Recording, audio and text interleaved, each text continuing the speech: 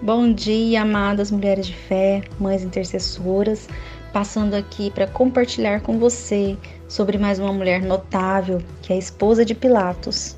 É uma personagem feminina que aparece na Bíblia e uma pergunta que nos ajuda a entender o que aconteceu com Pilatos quando a multidão dos judeus que condenaram Jesus na Bíblia, encontramos uma única referência à esposa de Pilatos, no episódio narrado pelo evangelista Mateus, em 27:19, né, em que a mulher de Pilatos manda uma mensagem ao marido pedindo a ele que condene Jesus Cristo à morte, dizendo: Enquanto estava sentado no tribunal, sua mulher mandou dizer: Não te envolva este justo, porque muito sofri. Hoje em sonho por causa dele. O Novo Testamento só cita uma descrição desse episódio, nada mais. Não possuímos detalhes de sua vida, entretanto, suas atitudes demonstram que ela possuía o temor de Deus.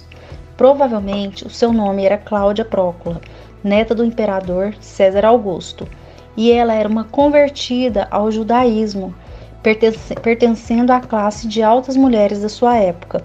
Por ser uma mulher temente a Deus, recebe a revelação de um sonho marcante e dizer para seu esposo Pilatos que Jesus, rabi da Galileia, era um homem justo. A história tão pequena desta mulher, tão significativa, mostra o quanto é possível a sensibilidade espiritual para assuntos que são puramente espirituais. É notório o mover de Deus, é algo do passado, do presente e do futuro. Vamos orar?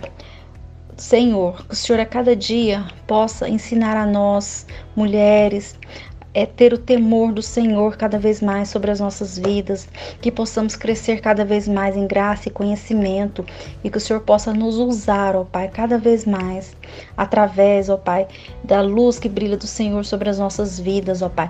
Que esse temor do Senhor sobre as nossas vidas venham crescer mais e mais e que venha refletir, ó Pai, por onde quer que estejamos, ó Pai.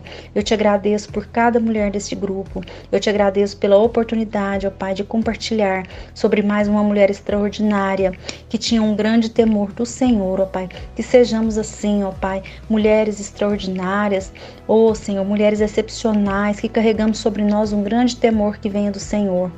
Mais uma vez eu te agradeço, ó Pai, te agradeço por essas mulheres, ó Pai. Obrigada por tudo, ó Pai. Um bom dia, que Deus abençoe a cada uma de vocês.